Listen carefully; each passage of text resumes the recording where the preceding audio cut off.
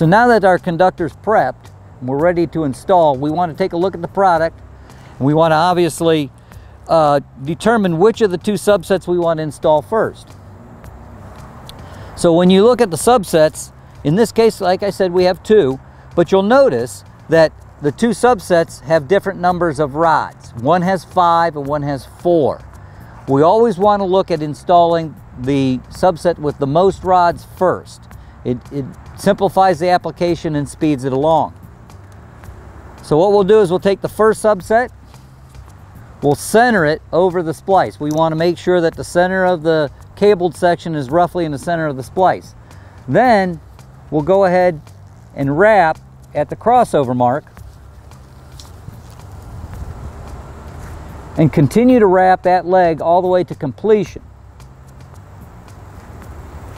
Now when you get to a certain point, two or three pitches from the end, you can go ahead and split the rod ends to simplify, and we recommend this, to simplify the application. You can split them into you know, even subsets. You can even split them down to single rods if, if, if you need to. But once you get them reduced in a number of subsets, it will simplify the snapping of the rod ends of the splice shunt and ensure that for ensure proper application. Once you get that entire leg wrapped in, come back to the cabled section and you want to wrap that cabled section around the existing splice. It will now only be nice and tight against that, and it provides for a nice application of the second crossover mark. So now at this point, I can go ahead and wrap that leg in.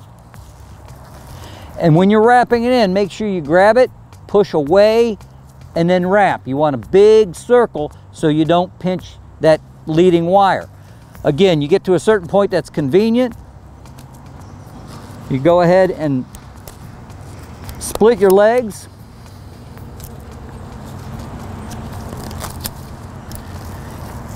You can split it, like I said, you can split them down to individual rods if needed.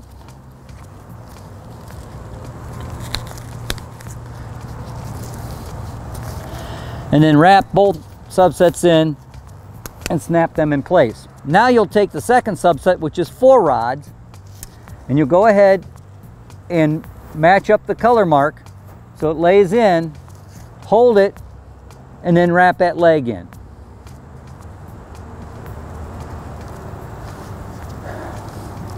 Again, wrap down to a convenient location, and we recommend, uh, especially on the larger splice shunts, split the legs. It will assist in the application, and then snap those in place.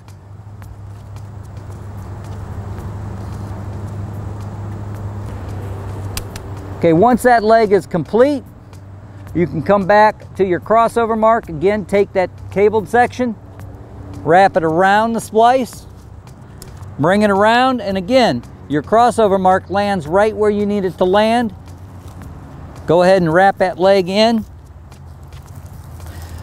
making sure you have a big circle as you're wrapping it. You get to a convenient location. Go ahead and split the legs. Create two smaller subsets. Go ahead and snap that in.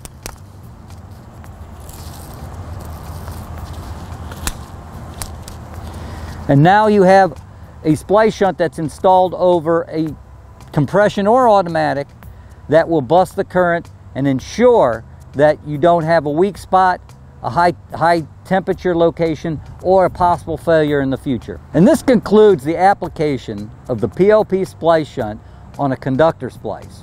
For more information on this product, please visit our website at plp.com.